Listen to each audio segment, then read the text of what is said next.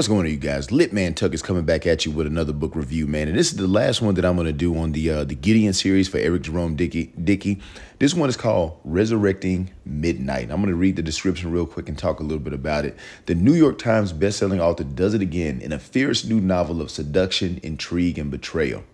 Gideon, a hired gun, trusts no one.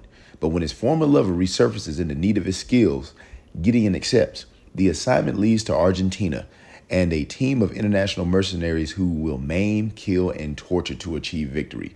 One of them has a connection to Gideon that neither assassin is aware of, a secret link that reaches into Gideon's past and plunges in him to a double cross, so explosive that no one will make it out unscarred. So yeah, this one is off the chain, man. More excitement, man. It ramps up. And yeah, like they said, his ex-lover comes and asks for his help.